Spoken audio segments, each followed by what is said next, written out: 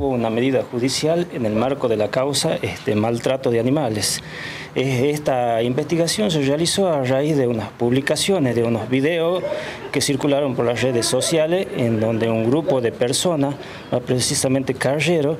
realizaban una competencia que consiste en medir la fuerza de los animales equinos, una, una competencia antigua comúnmente conocida como chigua de animales. En este sentido, llevamos a cabo la medida judicial en la fecha en el barrio Alejandro Heredia, en donde arrojó un resultado eh, positivo, ya que se logró el secuestro de los carros a tracción a sangre y de los animales utilizados para esta competencia ilegal y en donde los animales sufren un maltrato. También se secuestraron otros equinos, en total cinco, con signos de maltrato, un arma de fuego, una pistola 9 milímetros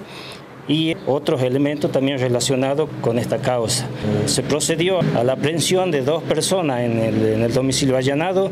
una persona por la causa en cuestión, que es el maltrato, y otra por la aportación ilegal de la arma, que sería el artículo 189 bis.